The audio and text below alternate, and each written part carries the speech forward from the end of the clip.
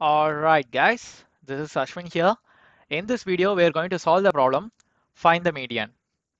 The median of a list of numbers is essentially its middle element after sorting. The same number of elements occur after it as before. Given a list of numbers with an odd number of elements, can you find the median? So here, this is the list of elements after sorting and the middle element is 3.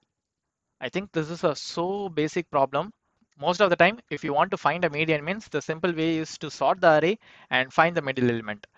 If the array has even number of elements means we need to add two elements from the middle and divide it by 2. So that will give us the median but here it is only odd number of elements. So we can solve this problem very quickly. First we need to sort the array array dot sort. This will sort the array in ascending order. After that we need to return array of n divided by 2. So this will point to the middle element of the array. If you have even number of elements means you will just add another element like this n divided by 2 plus 1 and divides by 2. So this should be in brackets. So this will give us a median for even number of elements.